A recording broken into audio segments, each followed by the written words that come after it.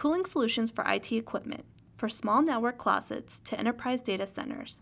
Today's server room environments are dealing with the growing need for higher server rack densities. At one point in time, building HVAC systems were sufficient to handle the cooling requirements of less dense server racks. This is not the case today. The question becomes how much cooling is really needed. Simple cooling calculators are a quick and easy tool. However, they don't tell the full story. Each server room is unique and requires a different approach. Portable cooling units may work in some low density server rooms, while others may be too space restricted.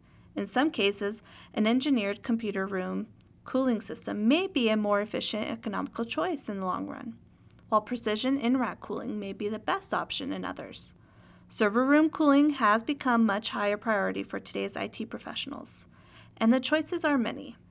What's for sure, though, is that the open doors with box fans pushing office air isn't going to cut it anymore.